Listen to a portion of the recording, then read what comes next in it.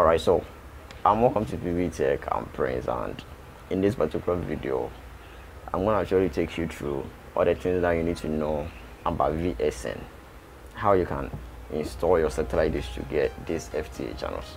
Alright so if today's happens to be your first time watching me on this channel all you got to do is to subscribe and hit the bell icon. Like the video share comment below and then continue watching. Okay so the VSN is basically on the Azerspace satellite which is on the northeast 45 degrees east okay 45 degrees. So that's the same satellite that you're gonna get a CBC Sports on it okay.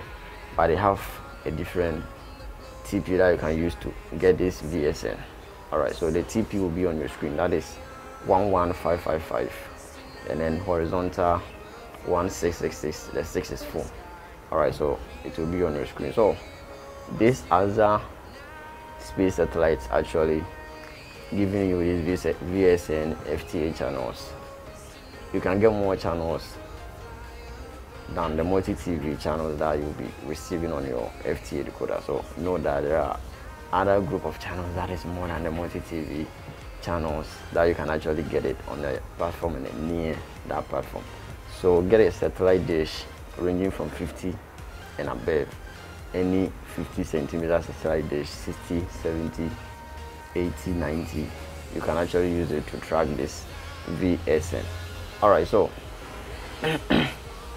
just direct your satellite to face the east and then add the tp that that is on your screen and then start tracking to get a signal. So if you have an analog compass it will be a plus. Get a compass to locate your east of your direction or your location and then start tracking to get the signal. So i will do a video a full tutorial on how you can actually track and then how you can add it on the multi-tv signal in case you're having a multi-tv and you want to add it on top of your LNB to actually get both of the FTA channels to actually enjoy. Alright so this is a short one to actually know let you know that there are some FTA channels over there that is more than the multi-TV FTA channels that you can actually enjoy.